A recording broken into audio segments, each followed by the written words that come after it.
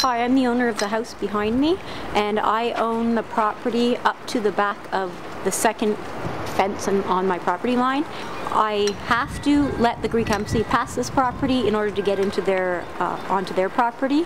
But right now, I have a lot of trespassers doing illegal things, drugs, having sex, and hanging out at night and on the weekends. I attempted to go to court to put in a gate to prevent trespassers from crossing my property and I was told that I couldn't do that.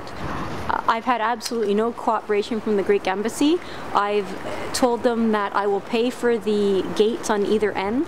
I told them that I would reconfigure the fence that's running through the middle of the property. Right now I am actually gated out and cannot use the nine feet at the end of my property.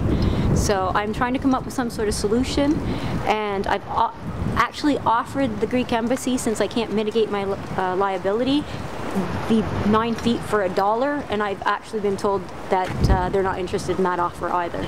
So as a homeowner, I really don't know what other direction to turn.